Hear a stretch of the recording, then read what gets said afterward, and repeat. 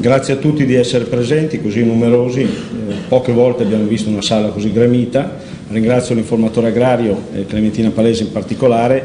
Io in questa mia relazione, che deve durare poco, farò un po' la parte del diavolo, parlerò poco della parte agronomica perché troverete poi nell'articolo sviluppata sufficientemente. E facendo la parte del diavolo devo obbligatoriamente eh, eh, mettere qualche, diciamo, qualche, nota per poter poi discutere, che è la parte secondo me poi più interessante di questo convegno. È naturale che eh, questa tematica abbia una certa valenza, c'è un forte interessamento dei media per cui stiamo, ne stanno parlando in maniera importante c'è un forte interessamento anche del consumatore, per cui tutte le cose che abbiamo visto, le problematiche legate ai controlli nel sangue per chi guida eh, ed è una delle cose forse più deleterie a livello eh, di consumo, gli aspetti salutistici, cerchiamo di essere tutti belli magri e bere meno, l'alcol si sa che ha una forte valenza eh, calorica e soprattutto si cerca anche quando si beve di essere abbastanza spensierati e non dover pensare madonna ho bevuto tre bicchieri in più o quattro bicchieri in meno. Ma non ultimo il mercato. Il mercato è in questo momento qui in una fase di crisi per cui qualsiasi novità forse prende piede, non prende piede, ma comunque ha eh, una certa valenza. Molte aziende ti dicono per favore eh, il mercato fa fatica a assorbirmi il vino che mi presenti a 14, 14 gradi e mezzo, 15 gradi, perché il mio distributore piuttosto che il mio agente dice che quando vedono l'etichetta e vedono il grado rimangono un po' allibiti. Eh, io penso che questo tipo di argomento sia un argomento che non va affrontato in maniera sbagliata, ovvero sia non va preso di pancia perché noi italiani siamo classici, prendiamo la moda, iniziamo a partire con la moda e diciamo tutti quanti a fare vini a bassa eh, gradazione. Io sono dell'idea che bisogna ragionare bene se questo tipo di approccio è un approccio che è positivo o negativo per la nostra viticoltura. Io penso che eh, la demonizzazione, ovvero sia il fatto di dire i vini ad alta gradazione alcolica sono fuori dal mercato per cui bisogna in qualche modo andare a rivedere quello che è la tipologia di produzione, abbia un senso fino a un certo punto. Per cui eh, penso che bisogna andare a valutare quelle che sono le problematiche. La prima problematica che mi sorge, e questo è un po' un momento di discussione che poi verrà sicuramente ripresa anche, spero, dai, dai produttori, è il fatto che noi 30, in 30 anni abbiamo conquistato mercato. Eravamo nessuno, abbiamo fatto un modello italiano viticolo andando a naturalmente a eh, caratterizzare il nostro prodotto con eh, le nostre varietà, con sesti d'impianto che sono passati da un certo tipo a un altro, andando a, sì è vero, a, diminuire la produzione, avere attraverso i diradamenti, attraverso tecniche culturali per avere prodotti tendenzialmente più concentrati che però hanno avuto riscontro sul mercato. Se noi siamo i leader attualmente dell'esportazione, si diceva che siamo passati, eh, le ultime statistiche danno che siamo a 22 milioni di ettolitri di vino esportato, presumo e penso che un merito ce l'ha anche il modello viticolo italiano. Per cui in questo senso difendo in parte queste scelte che abbiamo compiuto negli anni e poi vi pongo un'altra eh, logica. Siamo sicuri che tutti i vitigni italiani poi si possano prestare a essere lavorati, poi ce lo diranno i nostri amici tecnologi, essere prestati a per, lavorare per una bassa gradazione? Ovvero, o, o questo potrebbe essere un problema. Io rammento nella mia lunga o breve esperienza vitigni italici sono tutti vitigni che non sono vitigni internazionali, non sono varietà nel caso normalmente che abbiamo i nebbioli sono ad alta, ad alto livello contenuto polifenolico hanno problematiche di maturazione polifenolica, per cui se li raccogliamo piuttosto precocemente poi abbiamo tutta una certa difficoltà nel dover compiere portare a maturazione il, eh, la, la, componente polifenolica.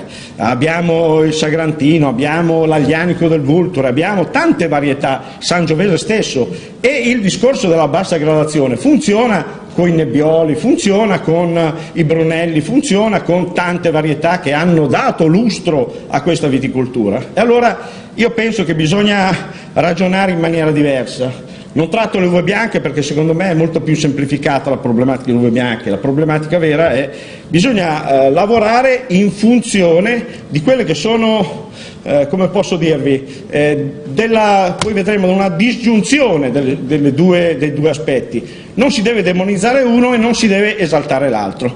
Possono percorrere due vie comuni senza dover tornare indietro su un modello, ma facendo un modello nuovo per i vini a più bassa gradazione con varietà magari che si prestano meglio. Eh, noi abbiamo un patrimonio talmente ampio che, volete, che, non troviamo delle varietà che si possono fare, gli esempi sono i Lambruschi, gli esempi sono eh, i Montepulciani anche, gli esempi sono tante varietà italiane che si prestano a fare questo, senza andare per forza a scassare un modello che ci ha dato delle risposte eh, di tipo qualitativo. Poi un'altra cosa, il discorso della percezione. Io ho paura che eh, forse non so quanti di voi, mi sono, mi sono illuminato domenica mattina verso notte, ho detto, c'è qualcosa che non mi funziona questa cosa Per cui il concetto è, siamo sicuri che il consumatore ha ben presente cosa vuol dire assaggiare o bere un vino a 12 gradi e mezzo piuttosto che a 14?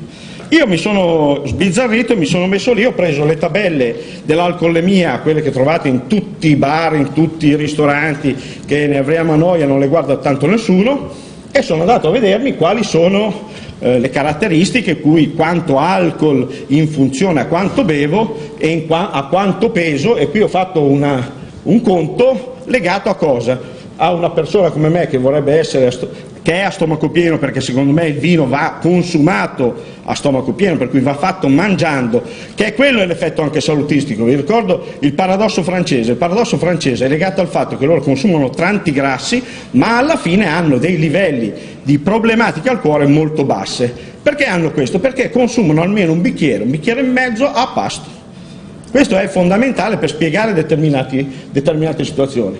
Ho fatto questo modello che ho interpolato un po' i dati dei vini a 12 gradi con i vini liquorosi a 18 e alla fine con, eh, tenendo conto delle quantità e sono arrivato a valutare, io vorrei essere 80 kg però sono di più, comunque stomaco pieno di 80 kg e alla fine mi sono trovato che per arrivare a 0,5 di alcolemia in un caso 12-12,5 faccio 500 cc, in un altro caso faccio 440-450, qui non è una differenza così mostruosa e qui faccio qui, questi sono i quattro bicchieri che posso bere quando, eh, scusate le foto, sono casalinghe per cui, eh, e questi sono i tre bicchieri e qualcosa che posso permettermi invece di un vino a 14 gradi.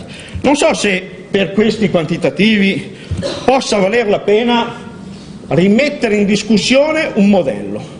Questo è il mio modo di pensare, ovvero sì, io penso che Probabilmente conviene sdoppiare le due cose, tenere il modello che abbiamo fino adesso e continuare a implementarlo. Certo, il problema grosso è che la gente, secondo me, non è che non vuole i vini alcolici, non vuole i vini pesanti, non vuole i vini che hanno, che hanno problematiche nel bere. Se, se abbiamo giusti rapporti e equilibri, bevono i vini tranquillamente a 14 gradi senza accorgersene.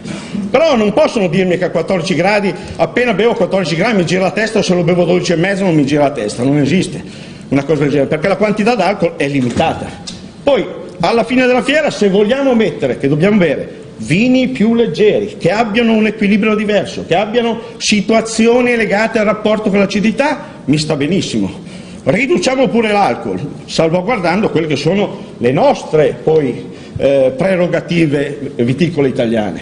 E poi, non ultimo, in questo novero delle situazioni che alla fine dobbiamo andare a discutere, tenete conto che ci sono le bollicine. Perché si bevono più bollicine? Perché sembra un vino più immediato. Non è vero che un vino più immediato, ci sono delle bollicine che tranquillamente fanno 13,5, tu le bevi tanto bollicine, figurati se le bollicine hanno tanto alcol. Ce ne hanno.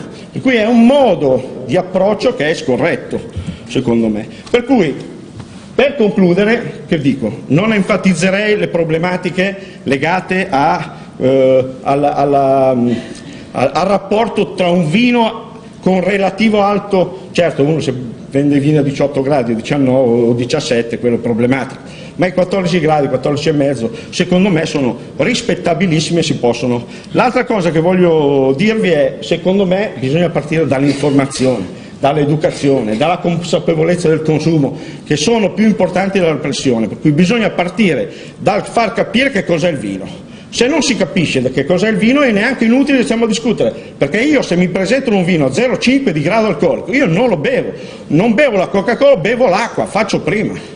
E non mi dicano che ci sono effetti salutistici, si sa che l'effetto salutistico è legato anche all'alcol, fondamentalmente, ma certo che non bisogna essere degli avvinazzati che si va in giro e si tracanna bicchieri su bicchieri come succede al Vinitali il sabato e la domenica. Questo è per, per dirvi. Poi un'altra piccola cosa, per favore, vini dealcolati. Io citerei a, a, a, che, che mi chiarissero bene il livello fino a che punto, perché dall'esperienza che ho io in molti casi ci sono tante piccole situazioni che poi non si capiscono. E un'altra cosa, per favore, verso gli agricoltori, verso i viticoltori, ci fanno fare altra carta. Eh? Qua perché io, se sono corretto verso il consumatore, devo dire al consumatore, guardate che ho fatto il dealcolato, l'ho dealcolato 4, 5, 7, 8, non mi vengono a dire che poi non si fanno queste cose perché allora non è corretto. E un'altra cosa dico, noi se fanno i vini a 0,5, 1, 2 gradi alcolici, noi viticoli che ci stiamo a fare? Non conterà mica la materia prima, no? Grazie.